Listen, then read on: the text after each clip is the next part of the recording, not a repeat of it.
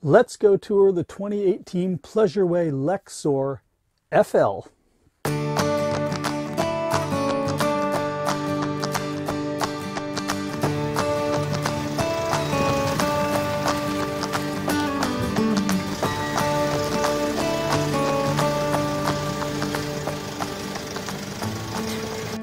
Before we get started with today's review, I'd like to ask that you please consider subscribing. It's easy. Just hit the subscribe button and click the little bell and you'll be notified when new reviews like this become available. The 2018 Pleasureway Lexor FL was just introduced and the FL stands for front lounge. This layout is really special and this van is really special all the things and all the high-end components that you would find on their most expensive RVs, you're also going to find in the Lexor, and you're going to find it for tens of thousands of dollars less. So without further ado, let's go tour the 2018 Pleasureway Lexor FL.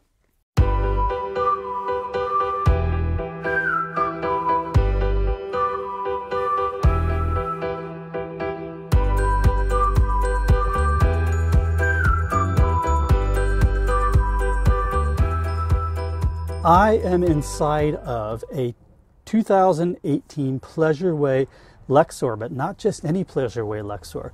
This is the Pleasureway Lexor FL. And if you notice, I am sitting in a front lounge. That is what the FL stands for. Now, this particular floor plan is very difficult to find. There are only a few of these I've been able to find across the whole of North America but I found one here and I want to do a review of it today. I love the Lexor TS. I've done a review of it. You can see the review. I think it's such a great value for the money. You get a high, high quality Pleasureway at a very good price. But this FL takes things to a different level. Not only can both the cab seats swivel forward and you've got this table up here, turning this into a livable area in a 20 foot van. But look at this. I've got two outlets over here, AC, and two USB ports, nicely lit up. And I can flip this up, turn my seat around,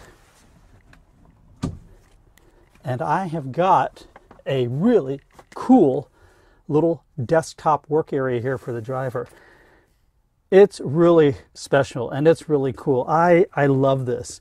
Now, what they did to accommodate this in the FL is normally there would be that closet here in the TS where you had a couple drawers at the bottom and you could store the tabletop and the two slats needed to make up the bed and there, it was a wardrobe closet. So they took that out and they moved that to the back. We'll take a look at it when we go look at the lounge. But what they gave me instead was a whole new part of the van where I can live. This is living area and it's pretty incredible. I really like this and it's usable. You know, unlike some other vans where you might have a flimsy flip out table that comes out from the kitchen or something like this, this is actually really nice and I can take this down when I don't need it. I can pop this up when I do need it. I'm really liking this. I think this is super cool. The rest of the FL is laid out exactly the same as the TS model. So you have your galley along the passenger side, and as you can see, it's all open all the way back to the back. You have your bathroom over here. Now missing here is the closet that would normally be here, and the closet's been moved back here. And then in the rear, you have your sofa, which turns into either twin beds or one large queen size bed. You're now standing in the lounge of the 2018 Lexor FL.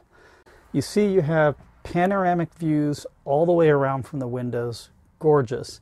You have seating for five around a table, which is exactly where you would be standing. We'd put the table right there.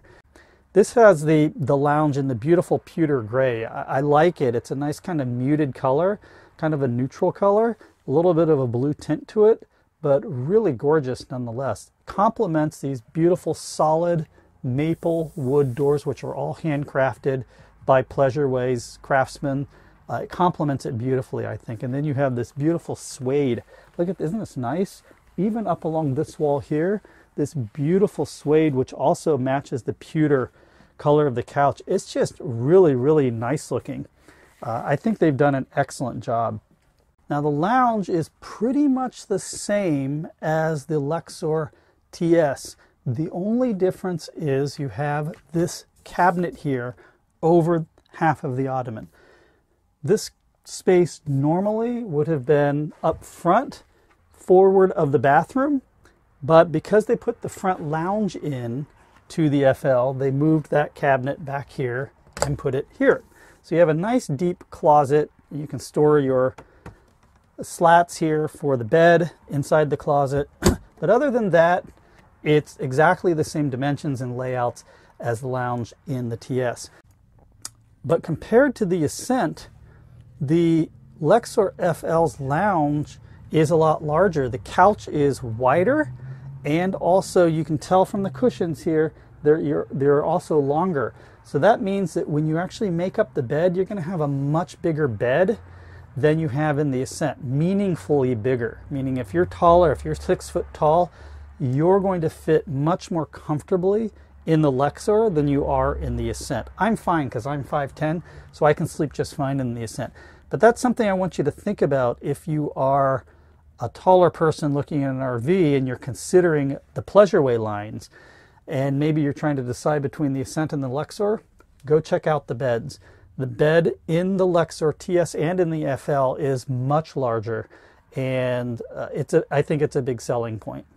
Now, one thing to consider, and this is just something about the ProMaster line, is if you notice, if you look at the floor, the floor has a step up there in the front lounge, and then it goes down a few inches, and then right here, it comes back up again. And that's because this is front wheel drive.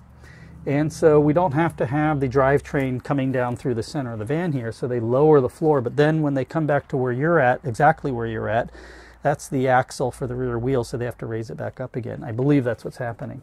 So unlike the Ascent, which is uh, rear wheel drive, uh, and the floor is completely level on the Ascent, all the way from the rear doors, all the way to the front windshield. It's completely flat.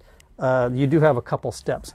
Now, I only bring this up because some people don't think about this stuff, but you're in a small space and you know, if you're having to get out of bed at night, you don't want to be stumbling over a two or three inch little step like this. Also, the egress and ingress from the cab because of this overhang and then the step and then the other step, it's just, I want you guys to think about that stuff. Move around inside the van. See if you can move around easily inside the van without tripping or hitting your head or bumping into things because you're going to be living in a small space a long time and those little bumps and head bumps and things like that will add up to annoyances for you later. Trust me, I, have made that mistake. So uh, just be aware of that. Look at this gorgeous bathroom inside this 20 foot van. I wish I had this bathroom in my Ascent. I fell in love with this bathroom when I first saw it, and it almost won me over over the Ascent. I, just like the residential feel of the Corian countertop over here and a stainless steel sink. I have a plastic sink in mine, even though my van is uh, much more expensive. And you've got, you can't see them, there's two AC outlets over here. Man, this is nice. The window's much bigger. It doesn't open, but it's a nice big window.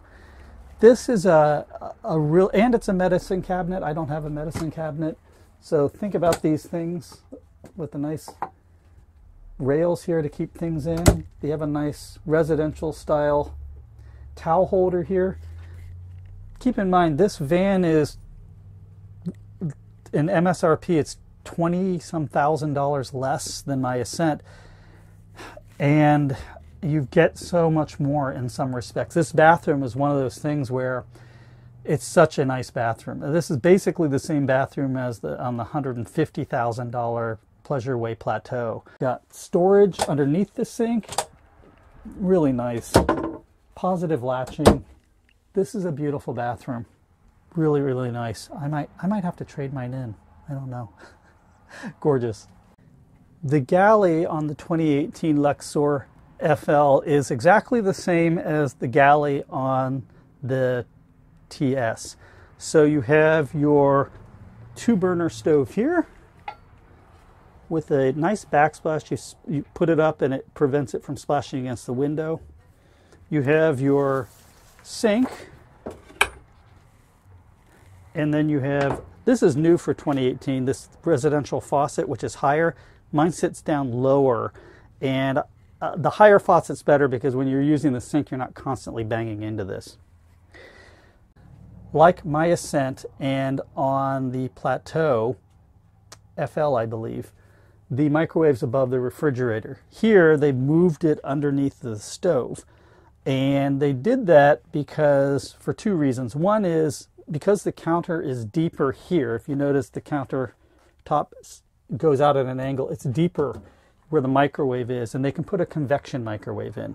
So that's very nice. So you can bake and brown and roast inside of that microwave. It's like having an electric oven inside of your RV. And the second thing that allows you to do is it lets you put in a larger refrigerator. So you can see here, this is the five cubic foot refrigerator in the Lexor FL. Now this is a three-way refrigerator, so it runs off of DC, AC, and it runs off of propane. But it's not automatic like the Ascent. So the Ascent will automatically and intelligently switch between those. You never have to worry about it. Uh, so if you're driving the van down the highway, it'll be using the chassis to charge uh, to cool the refrigerator. If you plug into shore power, it'll switch automatically to shore power, and then in between it'll use propane. This doesn't. You have to manually switch it up here. So you have to remember to do that. You also have to manually ignite it over here.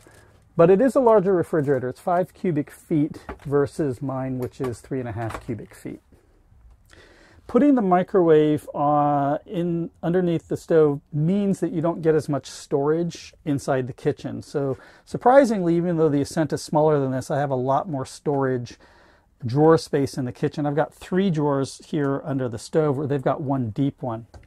They do have this cabinet over here, which is nice, but uh, you can maybe fit a trash can under there.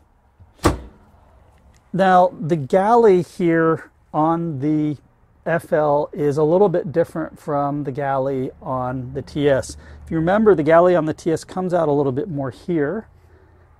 Because I have the lounge, as you can see over here, with the raised floor that sticks out about another foot, I had to take a foot off of the galley here.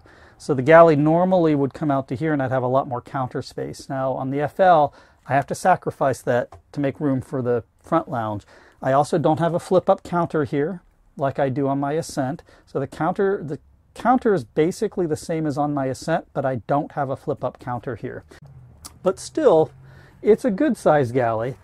I love the Corian, the quality of the Corian from Pleasureway. This is something you need to look at when you're looking at different RVs. A lot of manufacturers will say they use Corian, and they do. the question is how much time do they put into polishing the Corian to really give it that deep luster and the shine. And you see here with Pleasureway, this is just beautiful, beautiful Corian. Now the other thing I really like about the Lexor is, look at this. I love, look how wide open this door is. This is incredible. Uh, you got a big entry space, a big wide open door. Super cool. Really, really nice. Some of the nice features here. Look at the curved cabinetry. Just beautifully done. As you can see down here, this is the new multi-color color screen, touch color screen control center that Pleasureway is putting in across all of their models. Now, what I really like about this is when you get into a small van like this, having a lot of little things like this, little individual controls for your components, can start to really clutter up your van. It's different if you're in a really big Class A and you can kind of spread them around or you can shove them all in some cabinet because you have space for that.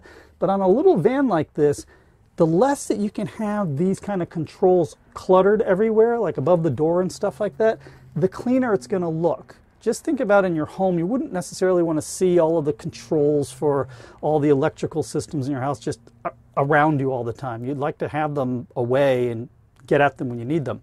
So that's what these really nice color touch panels do. They've been integrating more and more of the components into them. So for instance, This year, as compared to last year, like on my Ascent, you have the air conditioner and the heater both integrated into the touch control panel. That means that's one other component gone. I don't have a separate thermostat. This is new for 2018. This is the fantastic fan, but this is automatic now and it has a rain sensor. So if it starts to rain, it'll close automatically. I wish I had that on my Ascent because I've left mine open a couple times. But this fantastic fan is also controlled down through here, which gets rid of another control panel that you need to have to control that. And this can be set to open up and turn on if it gets too warm inside the coach. Uh, so it'll start to try to cool it off. The other thing is the awning control outside is also built into here. All of your lighting controls, so you don't have a bunch of light switches everywhere, are all built into here. Lighting banks, dimmable lights, all on the touch panel. The other thing that you can get as a part of the 2018 models is automatic generator start. And what that is, is Pleasureways answer to Volt Start. So let's say that you have pets and they need to stay in the van while you're gone and it's gonna it's a hot day well you can tell through the touch panel automatic generator start to set a certain temperature inside the van and when it reaches that temperature while you're gone the van will automatically start the generator and then run the air conditioner and cool off the inside of the van and when it's done it'll shut the air conditioner off and shut the generator off that's really useful and really cool and what makes it even better on the Lexor is the generator on the Lexor is gas. It's not propane like it is on my Ascent. This ProMaster has a 20 some gallon gas tank, much, much larger. And so that air conditioner is going to be able to run a lot longer from the generator in the Lexor because it's pulling gas from the main gas tank. Plus, it's just that much easier for you to go and fill up the gas tank when you get low than it is for me to have to go look for a propane station. So automatic generator start makes a lot of sense in the Lexor because of its gas generator. And I think a lot of people are going to find that really useful and advantageous for them if they've got pets and they're going to be RVing in warmer weather. Now you also have this touch panel in the back. We've talked about the touch panel. It's exactly the same as the touch panel in the front. That's the advantage you get from multiplex wiring. And you know what? In a van this size, it's great to have two control centers, not just one, two control centers. So if you're back here, you can control every single thing, the awning, everything from back here, just like you could from the front. So that's a really, really nice thing. Much more expensive coaches than this much more. I mean, I'm talking tens of thousands of dollars more. Do not have touch panels like that in them, the, the convenience center like that in them. So that is something that's really special and I think uh, adds tremendous value to this Lexor FL. As you can see inside the cab, I really like the cab setup of the ProMaster. It's very automotive looking. You sit up really high. The nose is really very sloped down so you get a very good wide angle view of everything in front of you. The seats are super comfortable and I can see from here that they have the thorax airbags in the seat as well, so that's really nice. The one thing that the Lexor has over the Ascent is those mirrors on the side they are powered so they'll fold in automatically. I have to manually do that on my Ascent, but these are powered so they'll just fold in. And the lower parabolic mirrors are also powered. So on the Ascent, I have to manually move those around to get the parabolic mirrors to look right. But here on the Lexor, they are powered, which is really super nice. One thing that I wish they didn't have on the Lexor is right above you here. It's this, it's at least padded, but uh, I've already hit my head on it going in and out of the cab. I had another van that had a storage area like this above the cab, and I vowed I would never get another van that wasn't open like it is on the Ascent uh, because I was always hitting my head on it. But it does give you additional storage up here, and you can put some of the brand new, by the way, uh, magnetic screen covers, uh, window covers that they have for the new 2018 models. They can be stored up there. That's also a standard feature, by the way. Pleasureway vans are amongst the highest quality, best build in the industry. And the fact that you can get this van which is just a little bit over 20 feet. It comes at 20 feet 11 inches, which means that you can still park it in a standard parking spot. It's a little more tight than my Ascent, but you can get this quality, this van with this incredible layout and the front lounge for an asking price of $110,000 is really mind blowing. It's an incredible value and an incredible van, and these FLs are very hard to find. You still get all the same things, high end components, and options that you would expect on a Pleasureway. So, for instance, this has got to be one of the greatest screen doors ever. You get some screen doors are those sliding ones, but let me tell you something about those. Those mechanical things they break you get dirt and grit and stuff down in the railings down there the guide rails and, the, and it's, you, you know this from home. It happens even worse on an rv because you're out and about in nature uh, and they rattle. This thing has none of that problem none of those problems. It rolls up out of the way when you don't need it when you do need it you just unstrap it down zip it down it magnetically closes every time every time you go through it it doesn't rattle it doesn't squeak it's a fantastic screen and it comes standard on every Pleasure Pleasureway model on the Lexors. And it's got the high-end Truma AquaGo.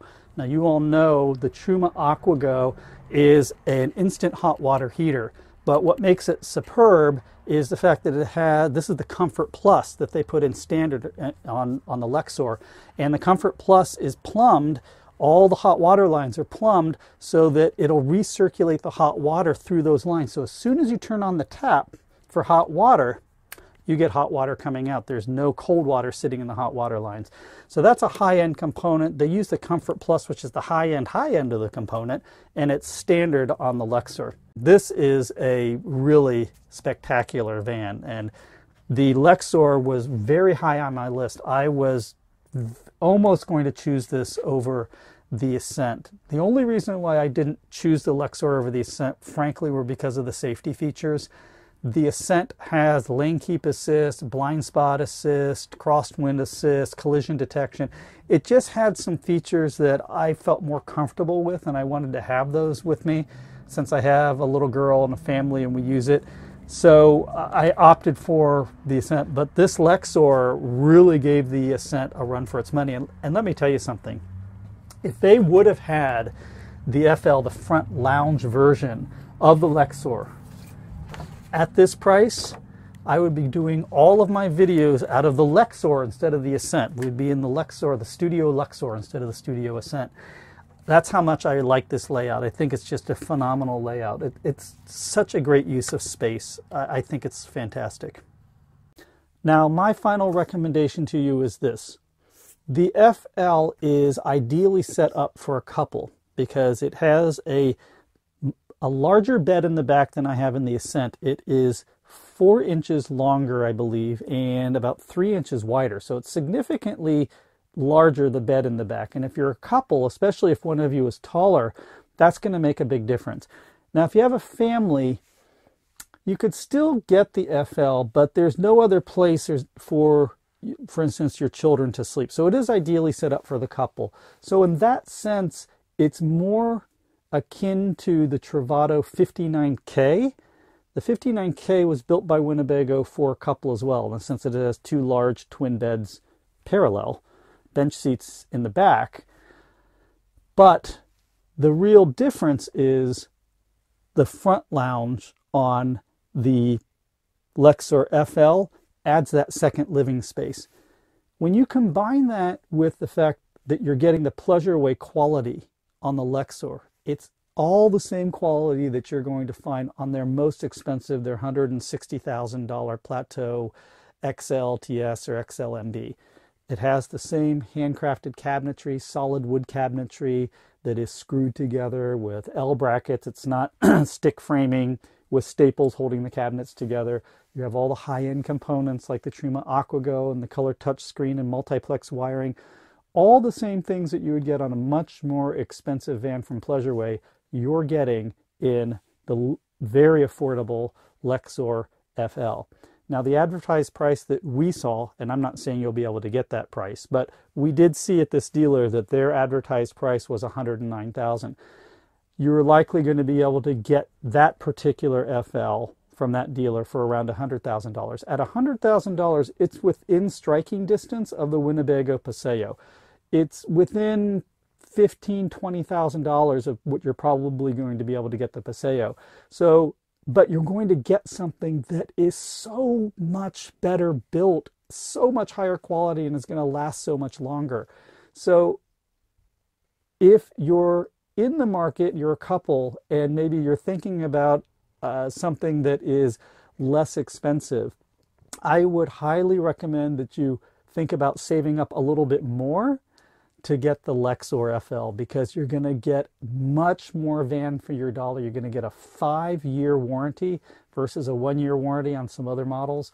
And it's just going to last longer and you're going to be much happier with it. So, thumbs up to Pleasureway on the 2018 Lexor FL. It is a really, really nice van. I'm jealous. I, I said jokingly when I was doing the tour on the inside that I might have to think about trading in my Ascent for the FL, but I kind of meant it. I I was really already on the fence when I bought this one, this Ascent TS compared to the Lexor TS, but when I saw the FL, I was just blown away with that front lounge and that beautiful bathroom. So the 2018 Pleasureway Lexor FL definitely gets a thumbs up from me. Well, I hope you enjoyed today's review of the 2018 Pleasureway Lexor FL. If you did, I'd really appreciate you hitting the like button. And if you haven't done so already, please consider subscribing. It's super easy. Just hit the subscribe button and click the little bell so you can be notified when new reviews like this come out. We'll see you again next week. Take care. Bye bye.